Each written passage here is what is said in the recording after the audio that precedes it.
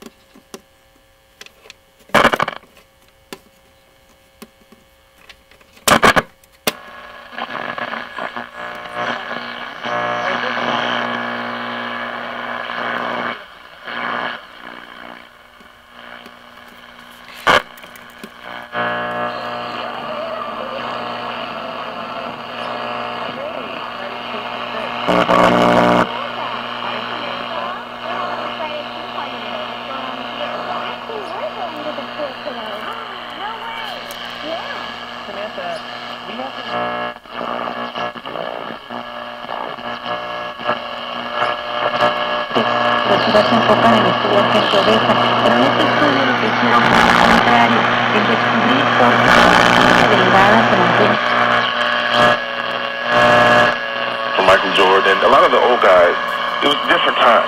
And, I mean, you didn't see things like this happen. And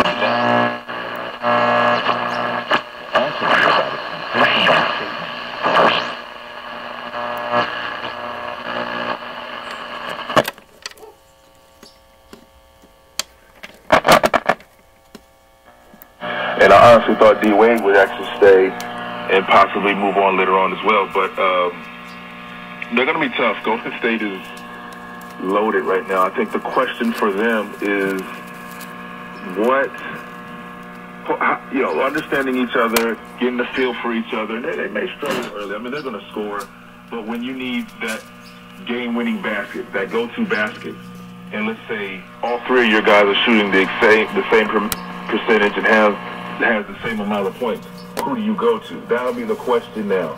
And of course, let's say they go to one guy, and not the other two.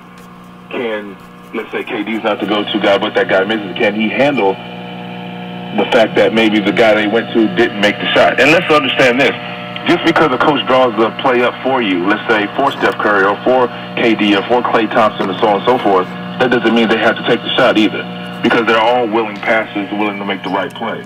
But I think that'll be a question uh, when it comes down to that situation.